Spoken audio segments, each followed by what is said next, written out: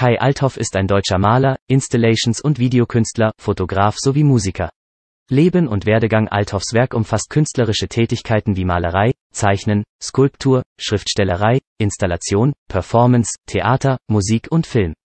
Ab Mitte der 1990er Jahre präsentierte Althoff seine Werke in diversen Gruppen und Einzelausstellungen, zunächst in Deutschland, später auch in der Schweiz, den Vereinigten Staaten und Kanada.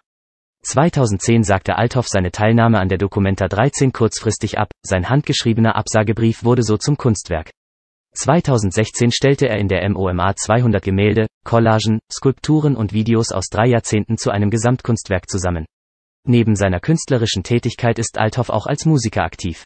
Neben Soloalben unter Künstlernamen wie Fanal oder Ashleys veröffentlichte er gemeinsam mit Justus Könke als Subtle Tees und mit Christoph Rath, Stefan Mohr und Stefan Abri als Workshop. Althoff lebte und arbeitete lange in seiner Heimatstadt Köln, bevor er nach New York City umzog.